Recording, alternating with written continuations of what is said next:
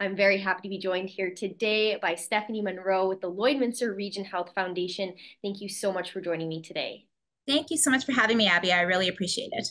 Of course, we love having you. Um, now, the 22nd annual Health Foundation Gala took place, um, and it was quite a success off of the total that you raised. So, can we first start talking about the gala this year, how it went, and kind of a little bit about that total that was raised?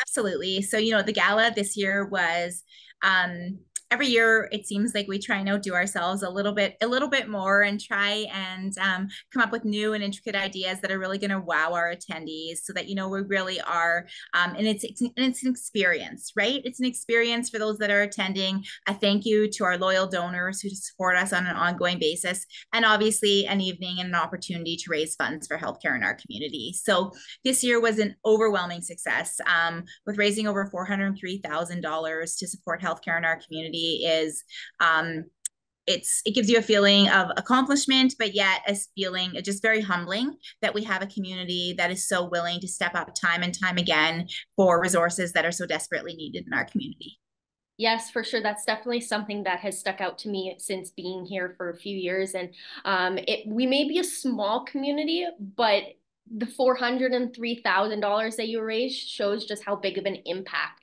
that this small community has. Um, when it's needed. When when we come together it really shows um, just how strong lloydminster is when it comes to fundraising. Uh, and obviously this gala has been going on for so many years and it's such a great event for people to come out dress up have a good good night.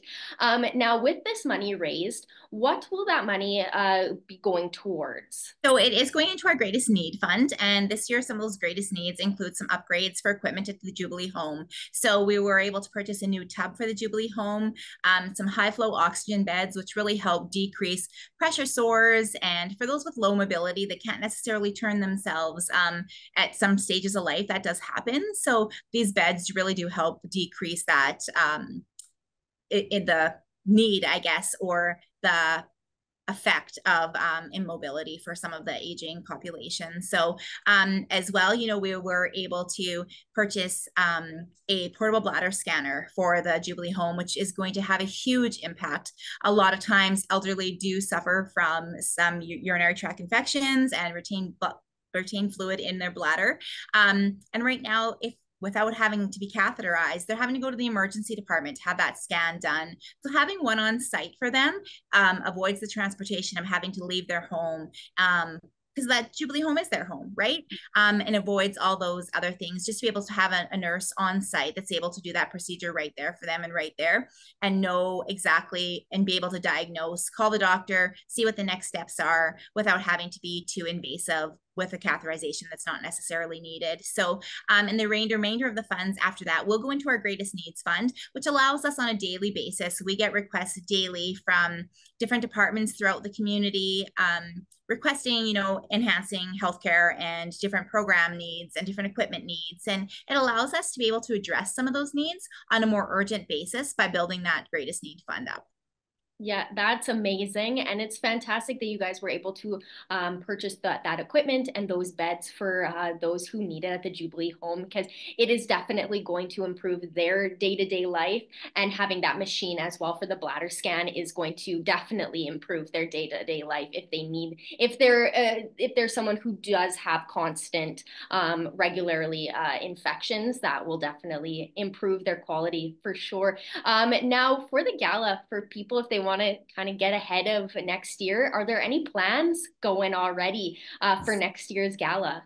So yeah, we pretty much just turn a page and turn the book and already get our plans started for next year. So, you know, we couldn't do the things we do without our incredible sponsors. Obviously, Richardson's Jewelry is our title sponsor and they've actually committed to next year as well. So um, we already know that they will be there to help support us. And as well as, you know, Eggland, they're already on board for next year. We have a lot of um, IG Wealth Management already committed for next year. So we have a lot of loyal donors who are committed to our cause, who are ready like I said, we pretty much we start we turn the page and we plan the next year literally starting pretty much identically after gala. So um, I will not give away. We do have a theme chosen. Um, we have an amazing gala committee, amazing group of volunteers, and you know our staff work tirelessly. We have an amazing board of directors who all help make events like this such a huge success, right? But nothing, none of it's possible without our community, the people that attend, our donors, our volunteers.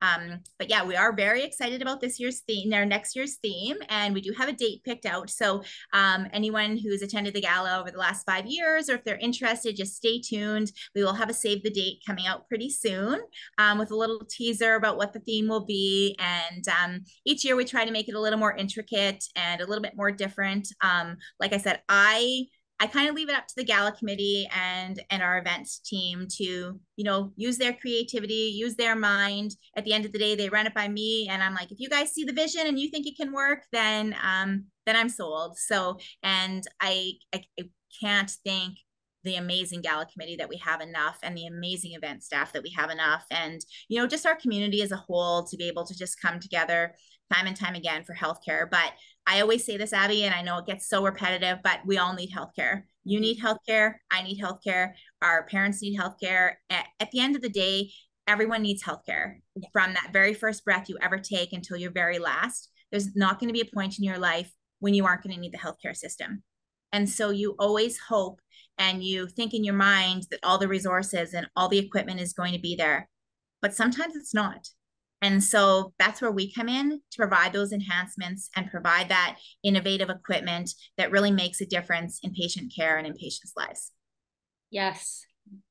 Definitely. And you guys have proven that time and time again. And the community has really shown up as well. So they also see the hard work that you guys put in and everything that you do for the community just by showing up to the gala um, and supporting you guys through that. And it's amazing. And your gala community committee has obviously pro- proven themselves as well as they've put on spectacular galas.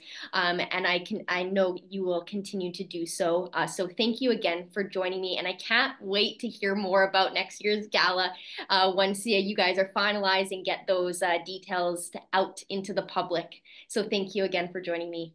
Thank you so much for having me, Abby. Have a great day.